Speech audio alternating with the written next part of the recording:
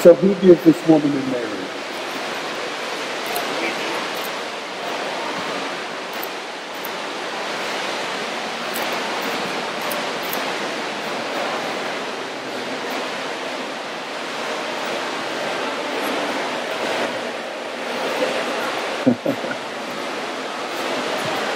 Well, hello everyone. We are so glad that uh, you are here today. We gathered in this uh, beautiful setting uh, to witness this, and celebrate uh, the joining of Robert James Reynolds and Ashley McCrary Ortego in the sacred institution of marriage.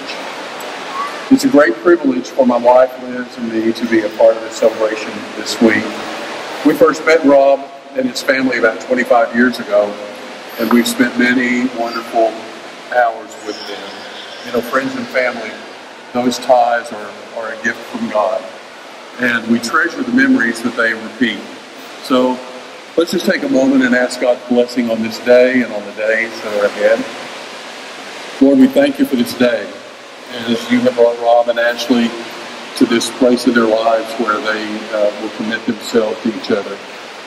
Lord, we thank you for friends and family and the love that we have for one another. And as Rob and Ashley present themselves to be married, it is with the hope that you will be central to their relationship and that they will trust you to lead them as they begin their walk together. We pray that you'll bless these coming moments as we uh, witness their vows to one another. And we pray that you'll bless these families that are being united by this marriage. And these things we pray in Jesus' name. Amen. So, folks, Rob and Ashley are standing here before you today because their lives have become increasingly intertwined and their love for each other has grown to a point where they no longer desire to be single, but to commit to each other in the holy bonds of matrimony. You know, God ordained those bonds between a man and a woman. And in a day where marriage is often approached flippantly or avoided altogether. These two are making a commitment by making these vows to one another. After today, they will continue to be two individuals, but in many ways, uh, they will become a single entity, held together by love and devotion. They'll be a couple. And they will be a family. And a very important, that, important part of that family is Miss Reagan here. I've heard more than once that Rob fell in love with her as he was falling in love with her mom. And today, all three of them are going to affirm that bond that uh, with one another publicly before all of you, friends and family. So now to you, uh, Rob and Ashley. The Bible gives us a very clear description of what love truly is. And a familiar passage for all of us is 1 Corinthians 13. I'd like to read you some, uh, some excerpts from what has become known as the love chapter. The Bible says, Love is patient, love is kind, it does not envy, it does not boast, it is not proud. It does not dishonor others, it is not self seeking, it is not easily angered, it keeps no record of wrongs. Love does not delight in evil, but rejoices with the truth. It always protects, it always trusts, always hopes, always perseveres. Love never fails. And now these three remain faith, hope, and love. But the greatest of these is love. Now I'm going to show my age here just a little bit, but I know you, Doug, are going to be able to uh, identify with me about this. So you remember Tina Turner sang a song uh, years ago called What's Love Got to Do with It? Remember that song? Oh, well, you know, the song described love as a second-hand emotion, and she could not have been more mistaken. My wife, Liz, has always said that love is much more than an emotion. It's more than a feeling or a thing. Emotions can change from day to day, driven by any number of factors, but love is much more than that. Liz has always helped me remember that love is a verb. It is something we do something we show, something we exchange. And I'm reminded of the first part of that verse where it says, love is patient, love is kind. After 45 years of marriage, I can promise you that uh,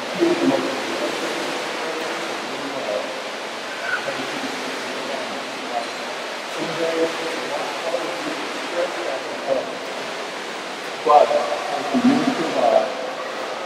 encourage both of you uh, to show your spouse that you love them by always trying to be patient and kind.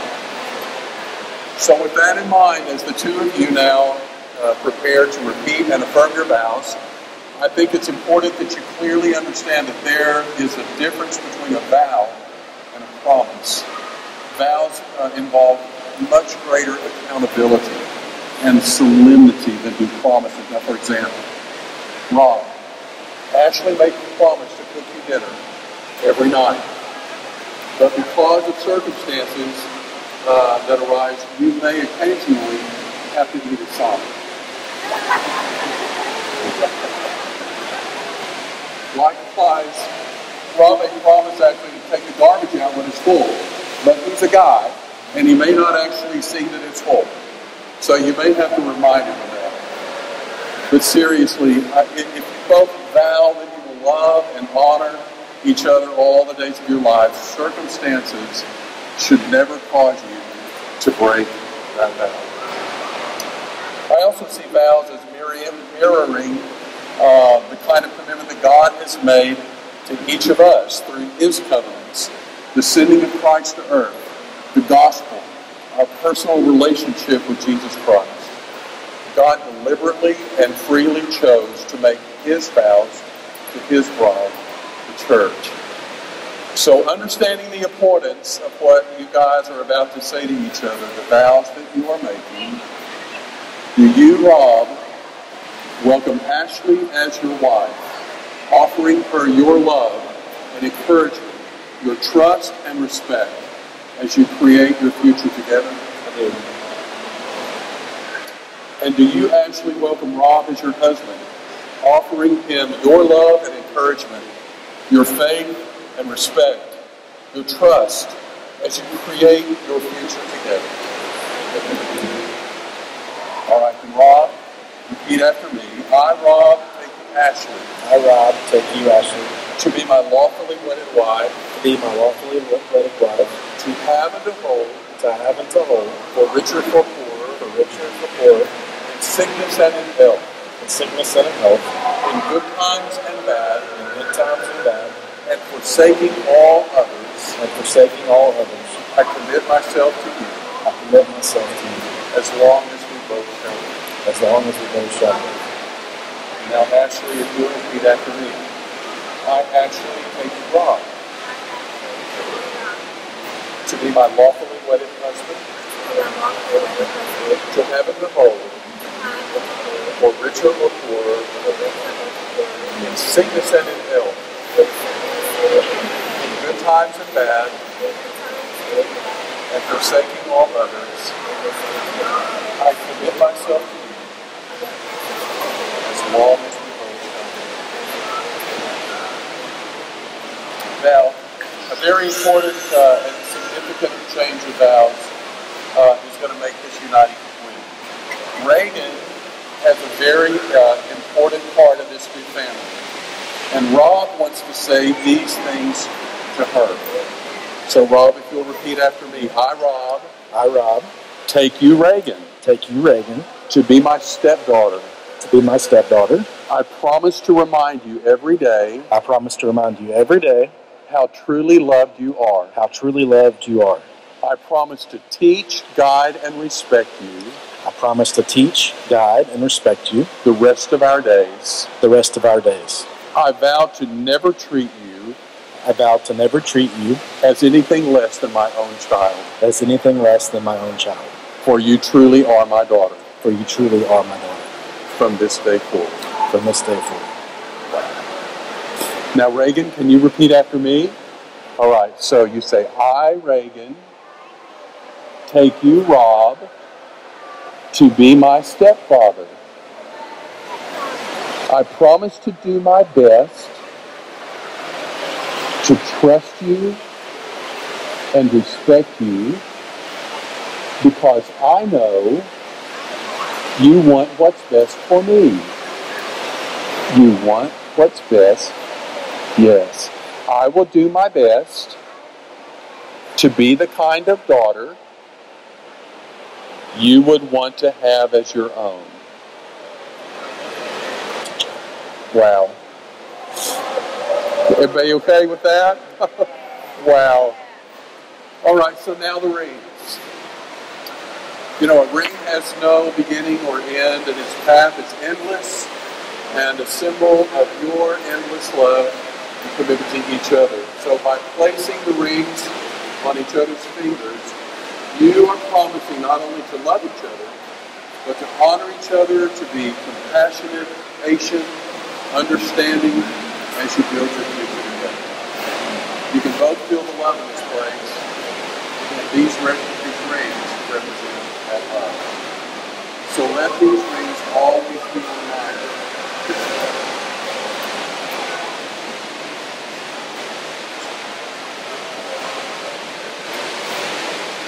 Right, so Rob, place the ring on Ashley's finger and repeat after me. Ashley, I give you this ring. Ashley, I give you this ring. As a symbol of my love. As a symbol of my love, with the pledge to love and support you. With the pledge to love and support you. Today, tomorrow, and always. today, tomorrow, and always.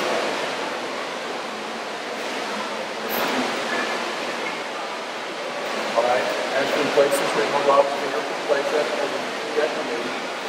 Rob, I give you this ring as a symbol of my love with the pledge to love and support you today, tomorrow, and always.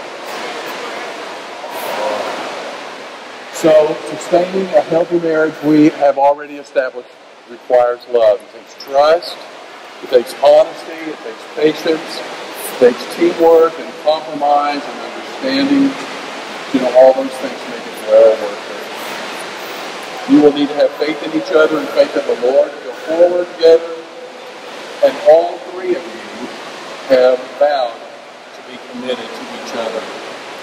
Robin, Ashley, you've exchanged rings as a symbol of the vows. And so now there's only thing, one thing left to do. By the power vested in me, by the state of Tennessee, and on the authority of the Word of God, I now pronounce you man and wife.